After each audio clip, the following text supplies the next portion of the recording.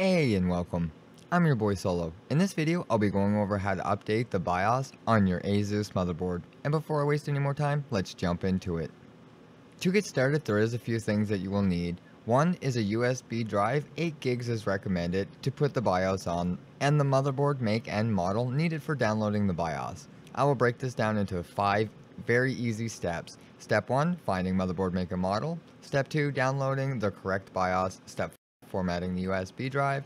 Step 4, extract and rename BIOS if needed. And step 5, the final step is installing new BIOS and restarting the PC. So if you're looking to install your BIOS, just follow along and we'll get right to it. Let's just start with step number 1.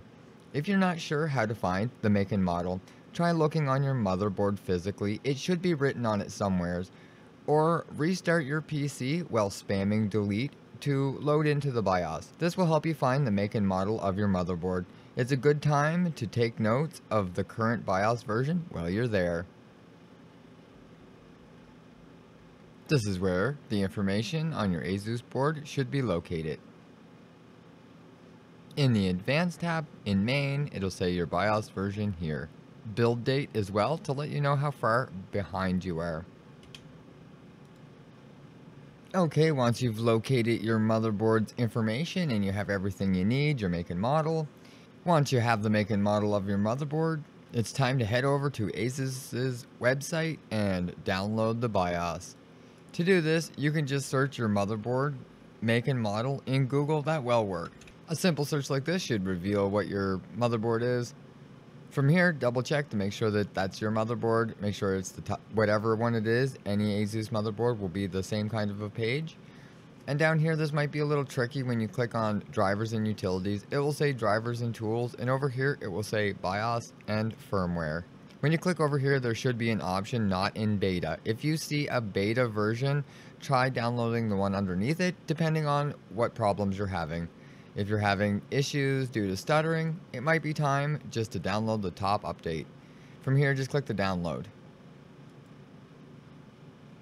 Okay, we have it downloaded. We can close the website. We're going to drag this here onto the desktop because there is a few things we still have to do. Once we drag this onto the desktop, we're going to go find and locate our USB drive and make sure it's plugged in.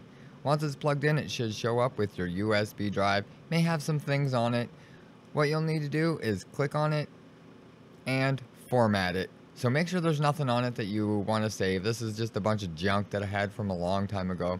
So I suggest formatting it in a file system, FAT32, or it won't work. It needs to be a FAT32. So you after that, you can just name this whatever you would like.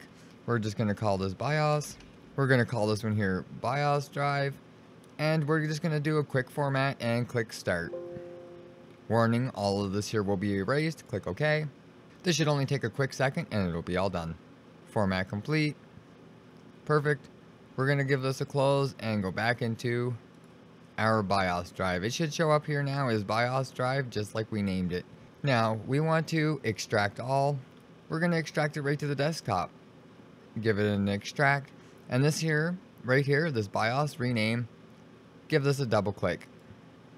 Make sure you click it first and press any key to continue. Click here, press enter, spacebar, and it will rename your BIOS to TGX570PW. All we need to do is drag this single file onto your USB drive. Okay, that's all set up. Okay, and again, make sure you double check to make sure this is the right BIOS or it will not work. But after you have that on your USB drive, all we'll need to do is go down here and restart your computer.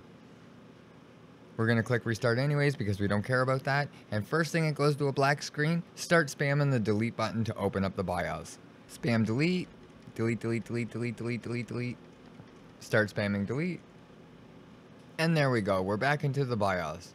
This is a pretty simple process from here. This might look a little bit intimidating, but it's actually fairly straightforward all we want to do is go down here and we'll have to click on the advanced mode or you can click F7 to get there. From here, we'll just go over here to the tools tab. On an ASUS motherboard, it'll be main, AI tweaker, advanced monitor, boot, and tools. If we click on tools, it's going to show us the ASUS EZ Flash 3 utility. That is what we want. We're going to give that one a click it's going to show all our folders, everything in here. So we'll have to go down and find our USB drive. When you click on it, when you have the right one, mine is this here of 14,980 megabytes. It will show the TGX 570 PW cap that you originally put on here. So all we're going to do is just click on that one. It says, please back up your BitLocker recovery key and suspend BitLocker encryption in the operating system before updating your BIOS.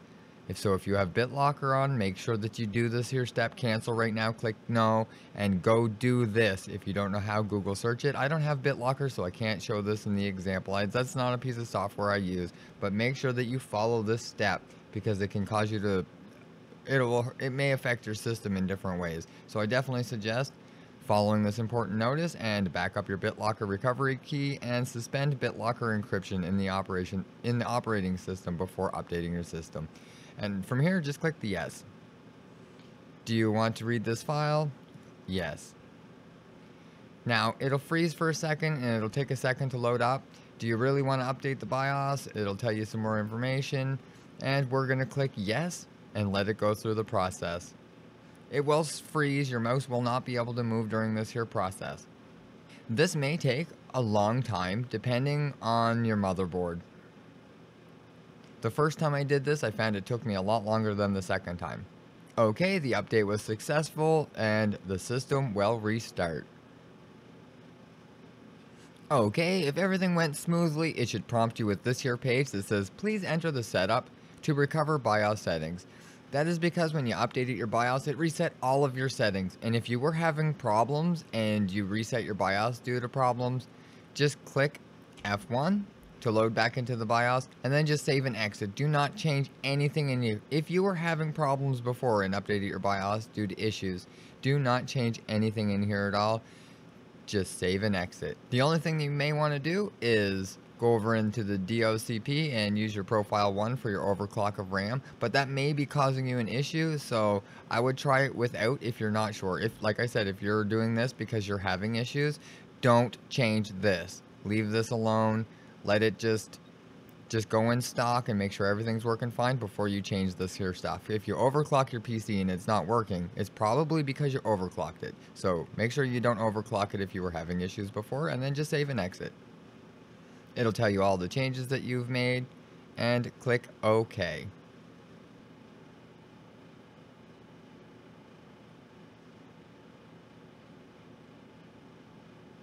Okay, Windows should just load up just like normal. And if you didn't have any problems this far and it loaded right up, that's perfect. That's all there is to it. That's as easy as it is. It's a very easy process. It is scary to a lot of people because they've heard if your power goes out or something goes wrong, it's going to brick your motherboard. But actually, facts, that's it's been a long time since that's been a problem. There's pins on your motherboard you can cross to reset it, and there's usually a BIOS reset switch right on your motherboard. So don't worry about doing your updates. I would just make sure that you are up to date if you're having issues. And like I said, it's nothing to be scared of the only time you'd have a problem is in the case of a power outage and like I said there's usually pins on your board if you refer to your manual to reset it if anything does go wrong. But that's all there is to it. This is a very easy process and can fix a lot of different common problems that you're having. This here update was mainly done due to the updates for AMD processors and they've done a lot of updates to performance. So now is the time to update your BIOS. If you notice any stuttering or any kind of problems at all, updating your BIOS would probably be your best bet right now. With all the problems with AMD working with Windows 10 and 11, it is something I highly suggest and that's all there is to it guys. So if you think I forgot or left something out, definitely leave it in the comments below. And if you like or found this video helpful, hit the thumbs up and get subscribed for more content. Thanks for watching.